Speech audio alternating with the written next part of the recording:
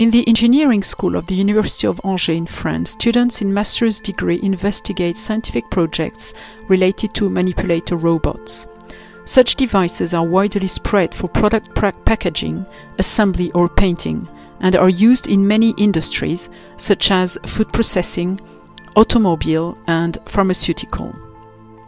Our educational team is committed to teaching the fundamental techniques for programmable logic controllers and robotics.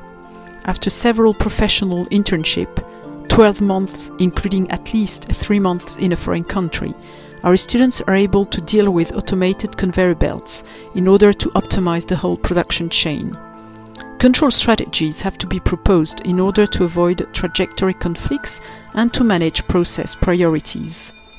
A specific focus is given to PLC network and communication protocols, since most modern PLCs can communicate over a network to some other systems, such as a computer running a supervisory control and data acquisition system or web browser.